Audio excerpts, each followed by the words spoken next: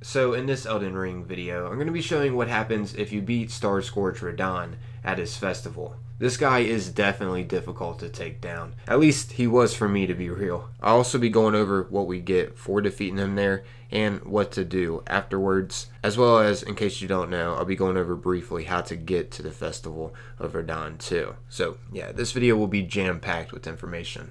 Let's go ahead and get into all of this. First things first, in order to get to the Festival of Radahn, you'll need to start and get through a bit of the witch Ranni's questline. You can first meet her at Church of Elleh, disguised as Renna, after getting your mount in the game. So once you get your mount, just head on over to Church of Elleh, and you'll first meet her there. You'll then encounter her again over at the top of Ranni's Rise, which is located over here on the map. Once you encounter and talk to her again, this will start the quest line that leads to the Festival of Radahn. Anyways, once you get to the part that starts the festival, you'll need to head over to Redmane Castle, which the entrance to it is located right here on the map. It's called the Impassable Gate Bridge. Once you arrive over here, this teleporter in front of the bridge to the castle will be active. This teleport actually won't be active if you aren't to the quest that involves the festival, so keep that in mind.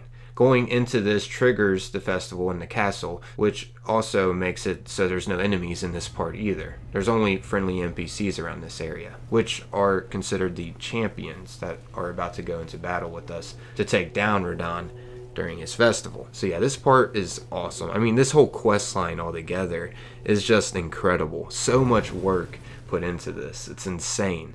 Actually, no, I just want to show y'all in case you haven't seen it. Here's what happens when we first arrive at the festival here. Champions, welcome. The stars have aligned. The festival is nigh.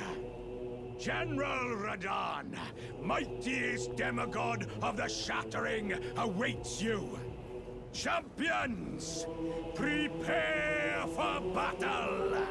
Defeat the General, claim glory, and grab that great rune! A celebration of war! The Radahn Festival! Yeah, just awesome. Once this guy does his whole speech, we'll then just need to talk to him to begin the festival, as you can see. We could choose this option here saying ready as I'll ever be. And here's what happens when we do. Before we begin, allow me to paint you the full picture.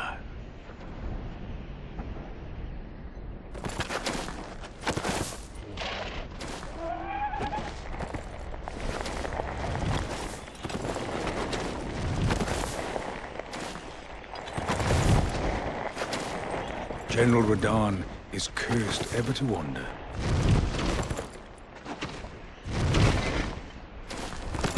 Eaten from the inside by Malenia's scarlet rot, his wits are long gone.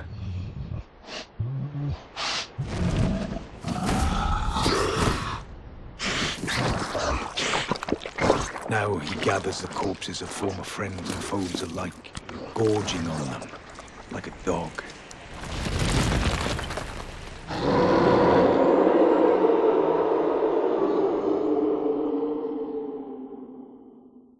howling at the sky.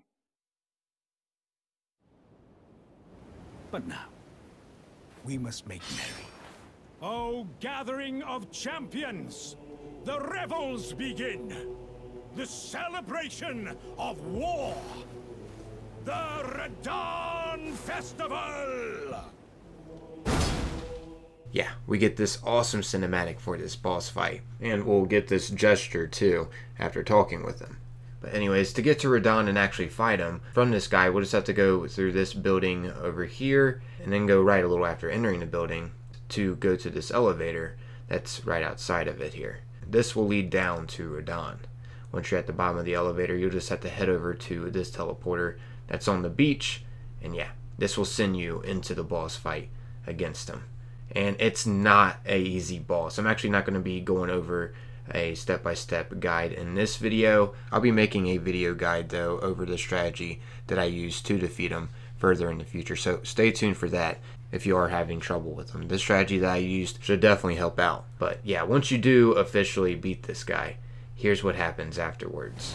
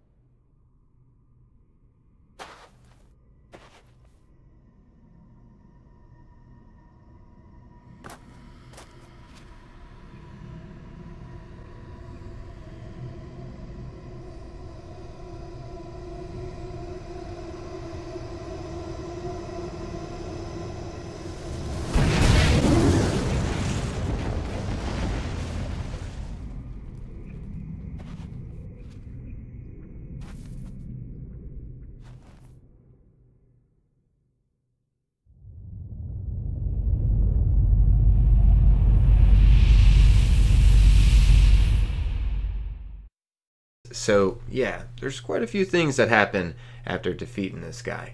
First off, we get the awesome cinematic that shows that the stars are now free since we took out Star Scourge. We actually figured out during Ranni's questline from someone that Star Scourge Radahn stopped the stars, and defeating him was the key to freeing them. Actually, Sorceress Sellen is the one who tells us this when we show her the letter of introduction that we got from Seluvis. This is a part of Ranni's questline. Well, well. Seluvis is not a name I ever wanted to hear again. But fine. If it will help you, my apprentice, I offer my knowledge.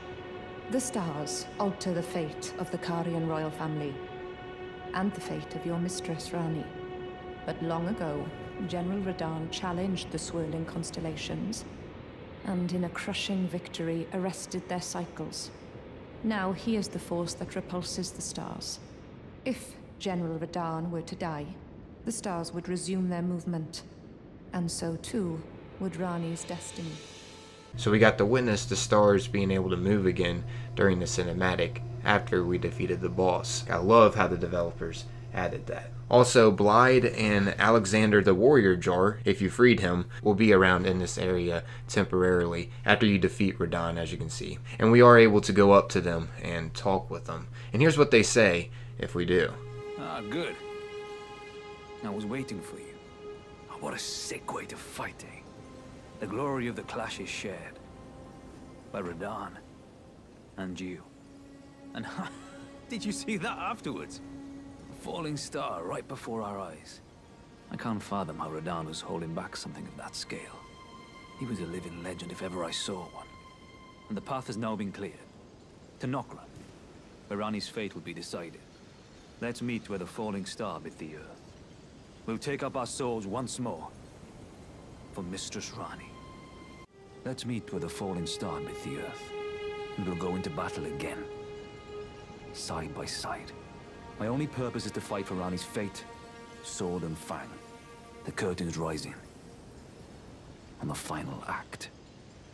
So yeah, that's what Blaidd says. He gives us a hint of where we need to go next, and that is Mistwood Ruins. That's where the star fell around, and there's now a giant hole over there that we'll have to go down.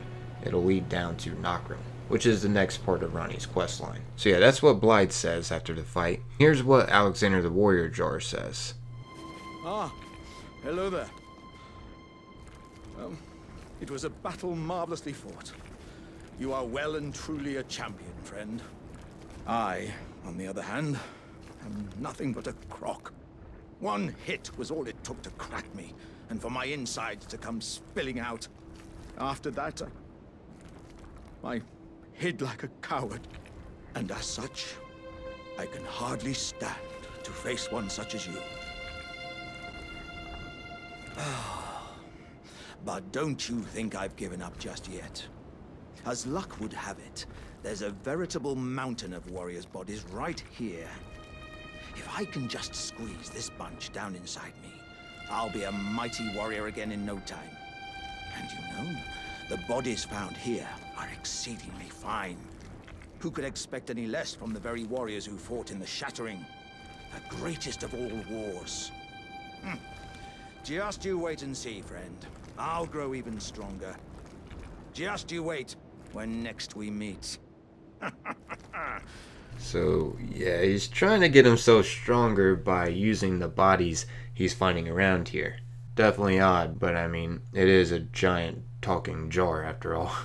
I will admit though, this guy is useful on the battlefield. Keep in mind, to have this guy's help on the battlefield, you're going to have to free him first, which I've made a video already over how to free him, so I'll have a link to that in the description if you are wanting to get this guy's help during the fight. Anyways, now let's go ahead and get into the rewards that we get for defeating him. So we get 70k runes, which is a great amount. We also get the Remembrance of the Star Scourge, as well as Radahn's Great Rune. However, it's inactive at the moment.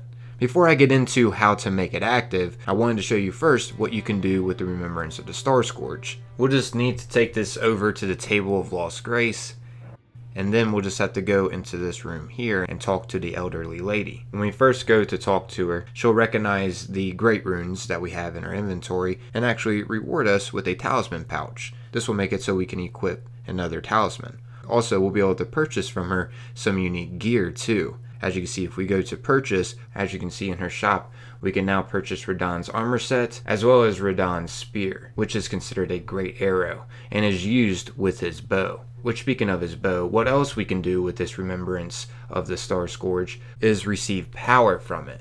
As you can see, one of our options state to receive power from the remembrance. And once we choose that, this screen will pop up, giving us two choices to choose from, depending on whatever your playstyle is. As you can see, you could choose to get the Star Scourge Greatsword, or you could choose to get his bow, which is called Lion Great Bow. And this thing looks insane. The bow is going to require 22 strength and 18 dexterity, and the sword is going to require 18 strength, 12 dexterity, and 15 intelligence both of the weapons that we can receive here are phenomenal.